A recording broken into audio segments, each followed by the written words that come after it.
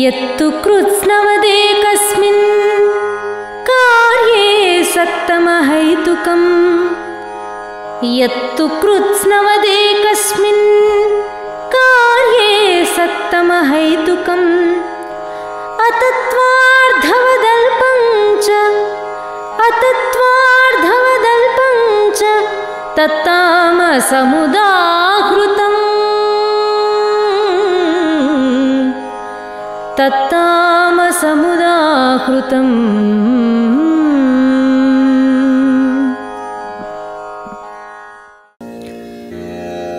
अधर्मं धर्ममिति या मन्यते तमसावृता। अधर्मं धर्ममिति या मन्यते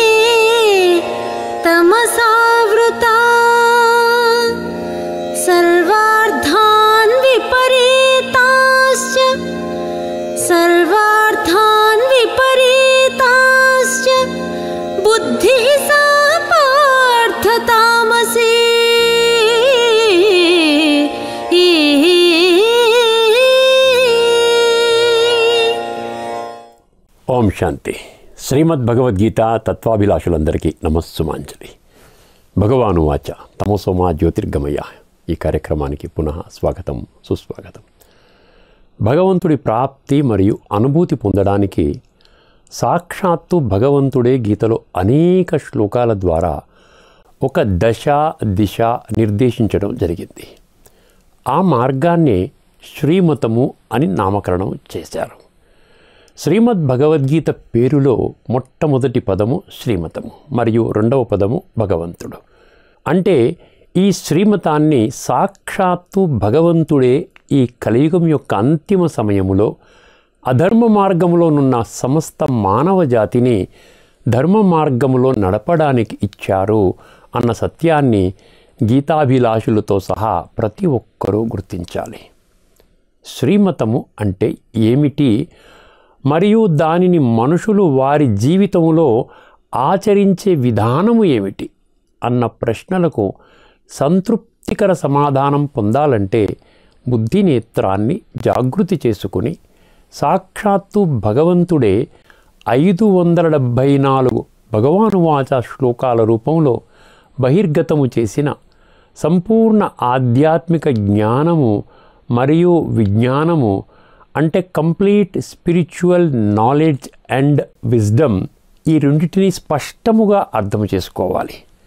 ఆ విధముగా భగవంతుడి ద్వారా లభించిన శ్రీమతమును అర్థము చేసుకుని జీవితంలో అనుభవం చేసుకున్న వారికి మాత్రమే భగవంతుడి ప్రాప్తి మరియు అనుభూతి కలుగుతుంది. వారు మాత్రమే భగవంతుడి ద్వారా సంక్రమించే స్వర్గ వారసత్వము అంటే త్వరలోనే రాబోయే సత్యయుగములో శ్రేష్టమైన జన్మలు ప్రాప్తి చేసుకోవడానికి అర్హత పొందుతారు. శ్రీమతాన్ని ఉల్లంఘించి అనుసరించే ఏ విధానమైన మనుష్య మతము లేక పరమతముగా భావించాలి. శ్రీమతము గొప్పదా?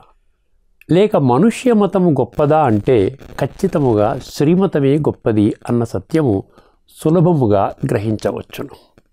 ఎందువలనంటే తొమ్మిదో అధ్యాయంలోని పదిహేడవ శ్లోకము మరియు పదకొండో అధ్యాయంలో నలభై మూడవ శ్లోకములో స్పష్టము చేసినట్లు శ్రీమతము సమస్త మానవాళికి ఒకే తల్లి తండ్రి అయిన భగవంతుడి నుండి లభిస్తుంది.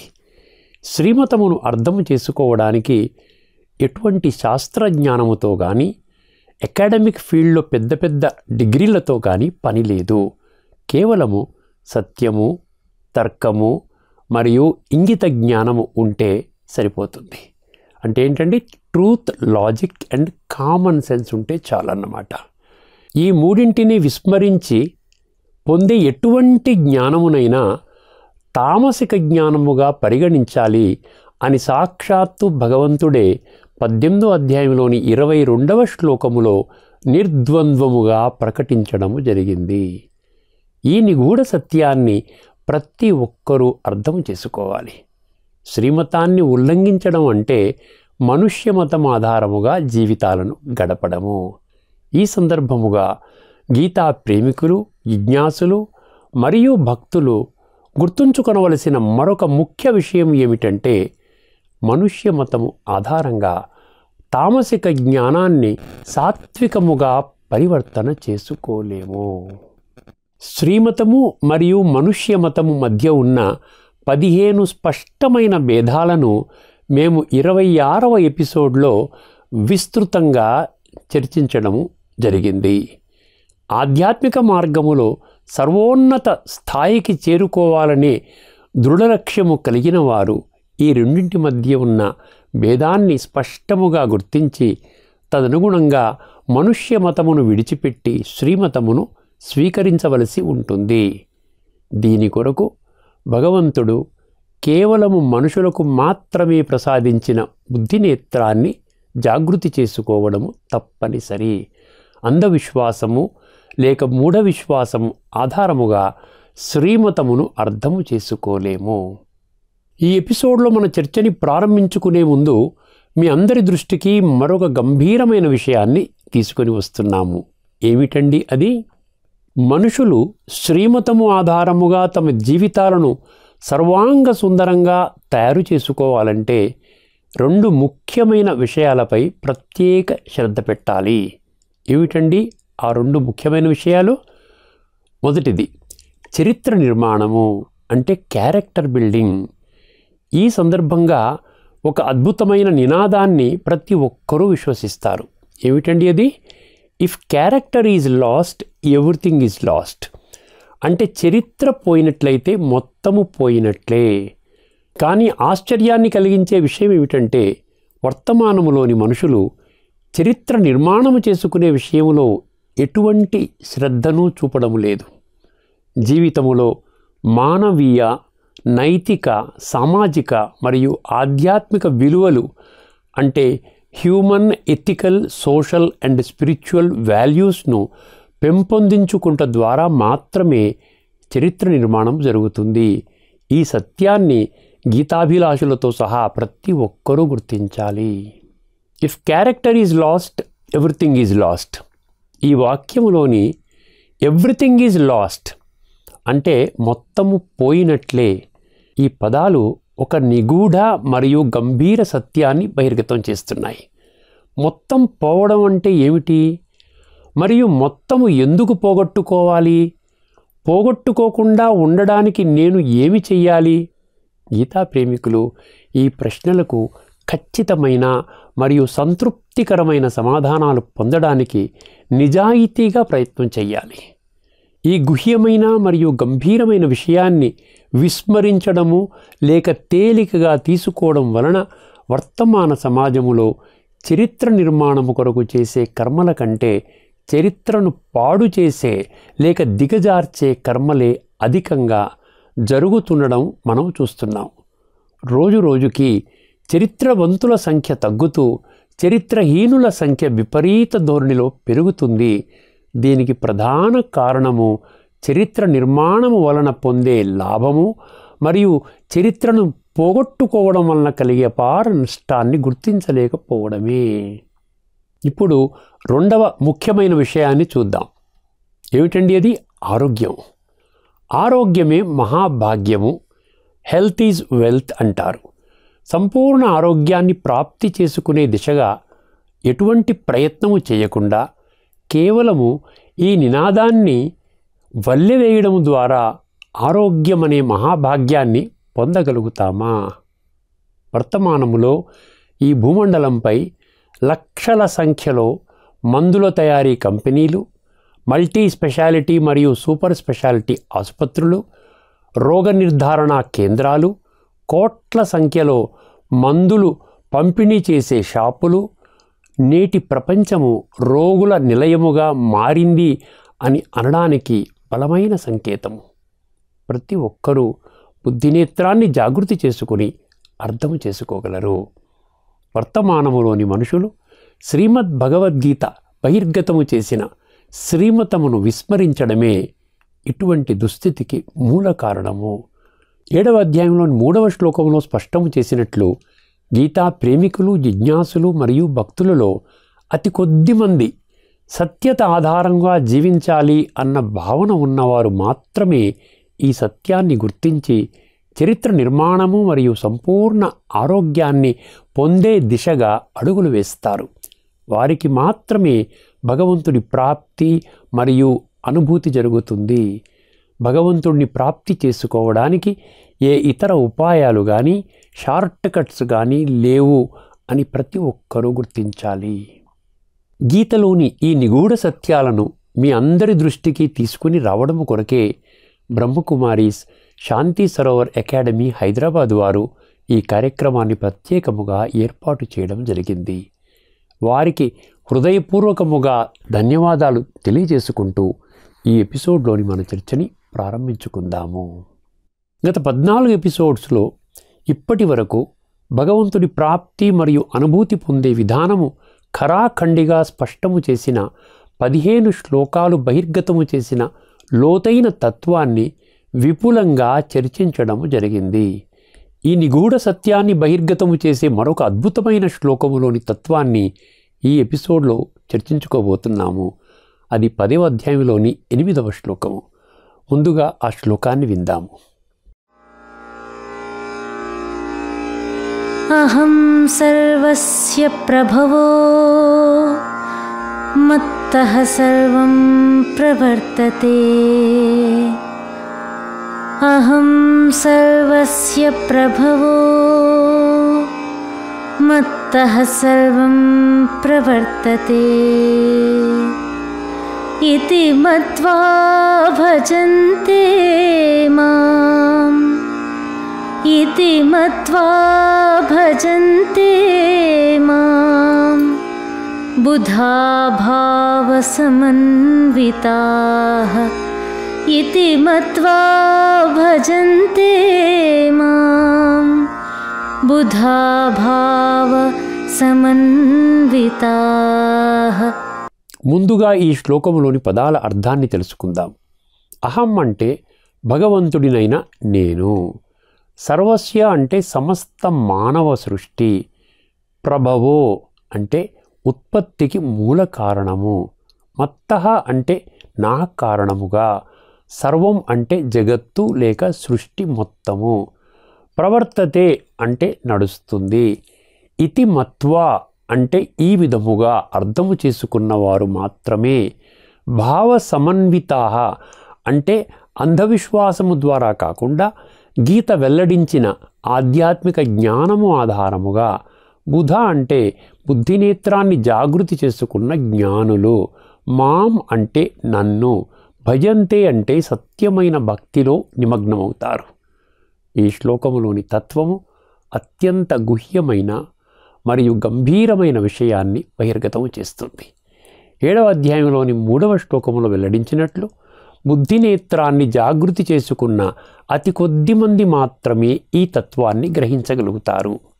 ధార్మిక మరియు ఆధ్యాత్మిక జగత్తులో గీతా ప్రేమికులు జిజ్ఞాసులు మరియు భక్తులకు భగవంతుడి విషయములో అనేక సందేహాలు ఉత్పన్నమవడం సహజమే. అటువంటి కొన్ని సందేహాలను పరిశీలిద్దాము. మొదటి విషయము. భగవంతుడు కేవలము ఒక విశ్వాసానికి మాత్రమే ప్రతీకమా? లేక నిజముగా ఉన్నారా?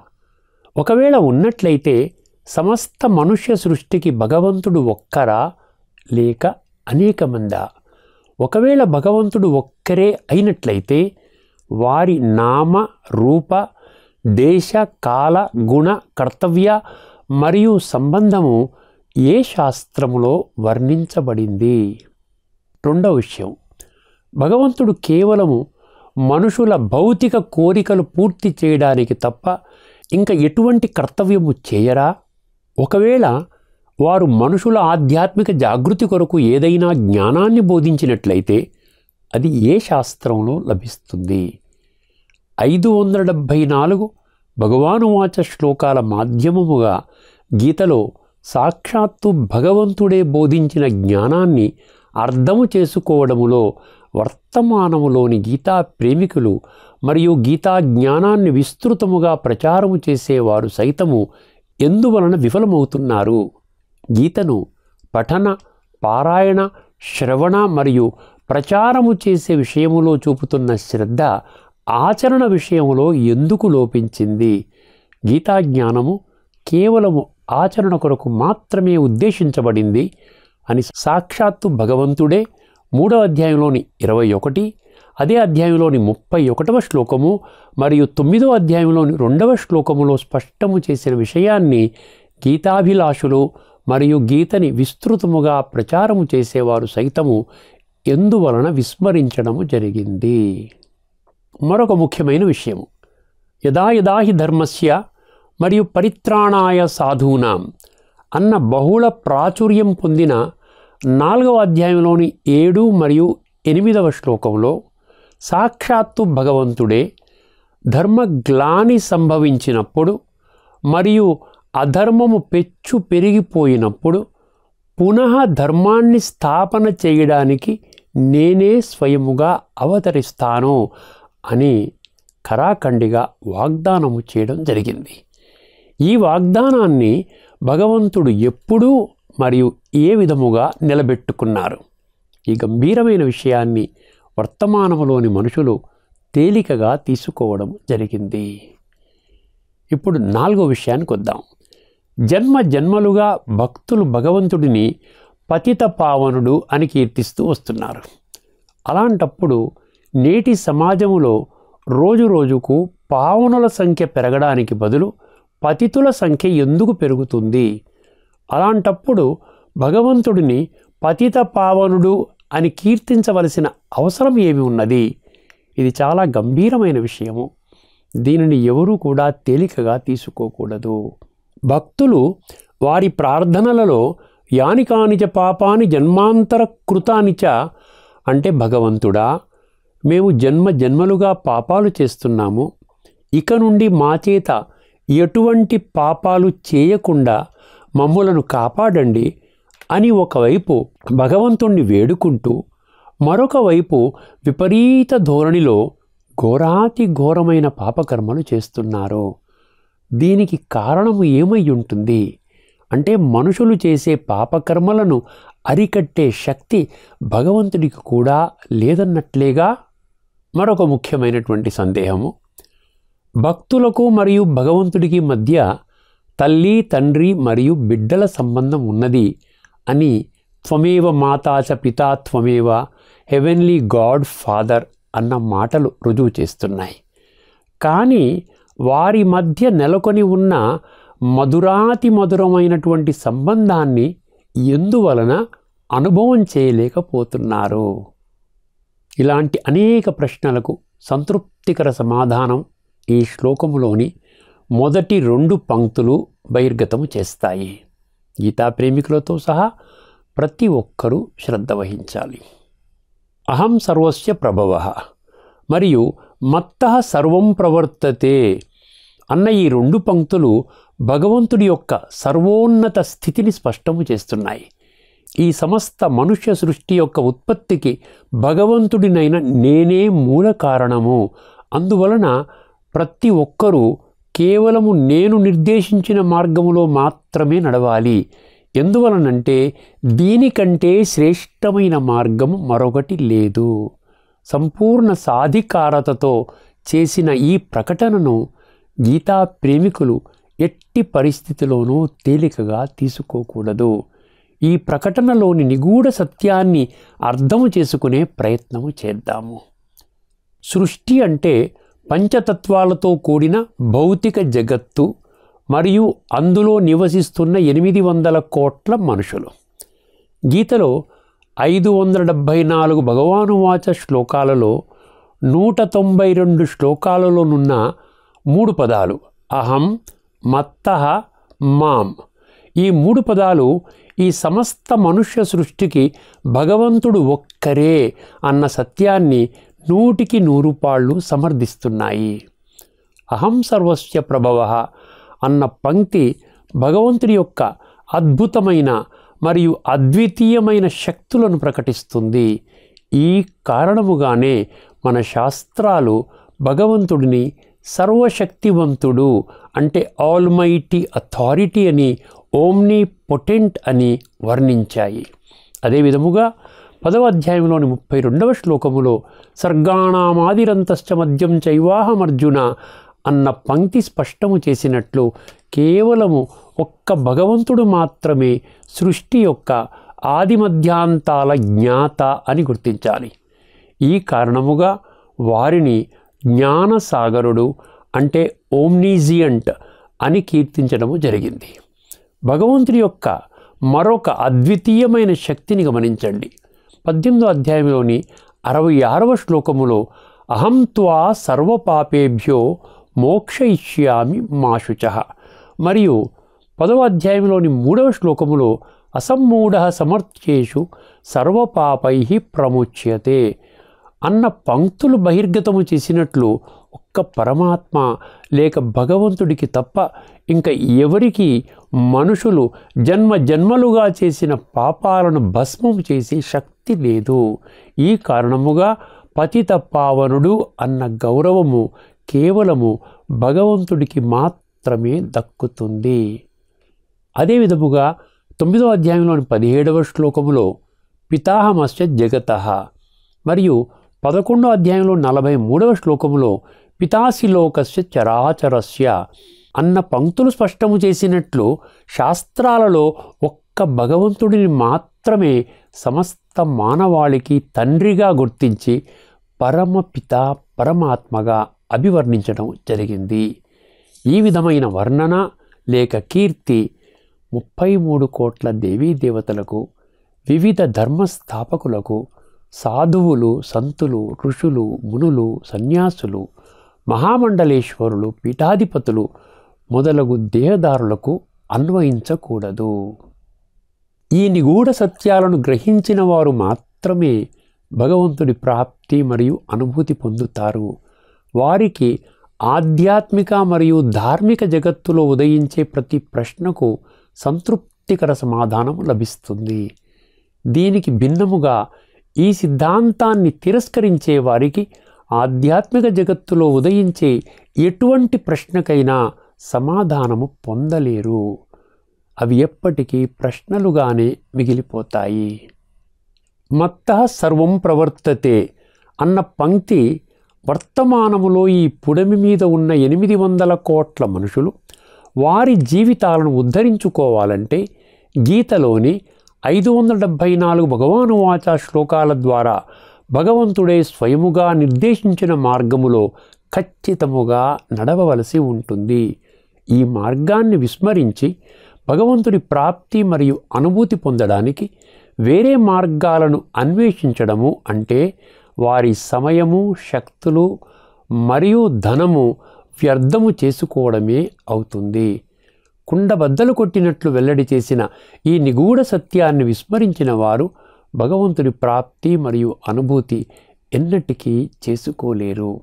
అజ్ఞానముతో ఉన్న కారణముగా వారు భగవంతుడి ద్వారా సంక్రమించే స్వర్గ వారసత్వము అనగా రాబోయే సత్యయుగములో శ్రేష్టమైన జన్మలు పొందే సువర్ణ అవకాశాన్ని జారవిడుచుకుంటారు. గీతా ప్రేమికులు ఎట్టి పరిస్థితిలోనూ ఈ గంభీరమైన విషయాన్ని తేలికగా తీసుకోకూడదు. ఇప్పుడు ఇతిమత్వా భజంతే మాం మరియు బుధాభావ సమన్విత అన్న ఈ శ్లోకములోని మూడవ మరియు నాల్గవ పంక్తి బహిర్గతము చేసిన తత్వాన్ని అర్థము చేసుకునే ప్రయత్నము చేద్దాము. ఇందులో బుధ అన్న పదము చాలా కీలకము. బుధ అంటే దివ్య బుద్ధి. బుద్ధి అంటే విచక్షణ లేక పరిశీలన శక్తి. పవర్ ఆఫ్ డిస్క్రిమినేషన్ అంటారు. ఈ శక్తిని గుర్తించినట్లయితే మనుషులు మంచి చెడుల విశ్లేషణ చేసుకుని సన్మార్గములో నడవడానికి వీలు కలుగుతుంది. మేము ఈ ఎపిసోడ్స్లో మీ అందరి దృష్టికి పదే పదే తీసుకుని వస్తున్నట్లు ఎనభై నాలుగు లక్షల జీవులలో కేవలము మనుషులకు మాత్రమే భగవంతుడు ఈ దివ్య బుద్ధి అంటే డివైన్ ఇంటలెక్ట్ని ఇవ్వడము జరిగింది. పదవ అధ్యాయంలోని పదవ శ్లోకములో తేషాం సతతయుక్తానాం భజతాం ప్రీతిపూర్వకం అన్న పంక్తి స్పష్టము చేసినట్లు ఎవరైతే భగవంతుడితో సంబంధము నిరంతరము మరియు ప్రీతిపూర్వకముగా జోడిస్తారో వారికి దివ్య బుద్ధిని సాక్షాత్తు భగవంతుడే ప్రసాదిస్తారు. తద్వారా వారు భగవంతుడిని ప్రాప్తి మరియు అనుభూతి చేసుకుంటారు. వారు భగవంతుడి కొరకు చేసే పూజ లేక ఆరాధన మొక్కుబడిగా కాకుండా సత్యమైన భావనతో కొలుస్తారు. ఈ విషయంలో అంధవిశ్వాసము లేక మూఢ విశ్వాసానికి ఏమాత్రము చోటు లేదు. ఈ విస్తృత చర్చ ద్వారా ఈ శ్లోకము బహిర్గతపరిచిన తత్వాన్ని సులభముగా అర్థం చేసుకోగలుగుతాము. ఎవరైతే బుద్ధినేత్రాన్ని జాగృతి చేసుకుని ఈ సమస్త మానవ సృష్టి ఉత్పత్తికి భగవంతుడొక్కరే మూల కారణము మరియు వారి కారణముగానే ఈ జగత్తు లేక సృష్టి మొత్తము నడుస్తుంది అన్న భావన కలిగి ఉంటారో వారు భగవంతుడిని అంధవిశ్వాసము లేక మొక్కుబడిగా కాకుండా సత్యమైన భావనతో కొలుస్తారు. ఈ ఎపిసోడ్తో కలుపుకొని గత పదిహేను ఎపిసోడ్స్లో భగవంతుడి ప్రాప్తి మరియు అనుభూతి చేసుకునే విధానము పదహారు శ్లోకాలలో ఏ విధముగా వర్ణించబడిందో మనము కూలంకషంగా చర్చించుకున్నాము. భగవంతుని ప్రాప్తి మరియు అనుభూతి పొందాలని దృఢ నిశ్చయం ఉన్న గీతాభిలాషులు జిజ్ఞాసులు మరియు భక్తులు ఈ శ్లోకాలు వెల్లడించిన నిగూఢ సత్యాలను ఎట్టి పరిస్థితిలోనూ తేలికగా తీసుకోకూడదు. ఈ ఎపిసోడ్లోని చర్చని ఇక్కడితో ముగిద్దాము. భగవంతుడి ప్రాప్తి మరియు అనుభూతి పొందే విధానాన్ని ఖరాఖండిగా బహిర్గతపరిచే మరొక అద్భుతమైన శ్లోకాన్ని మనము రాబోయే ఎపిసోడ్లో చర్చించుకోబోతున్నాము. అంతవరకు సెలవు. అందరికీ నమస్కారము. లోకా సమస్త సుఖినో భవంతు. ఓం శాంతి.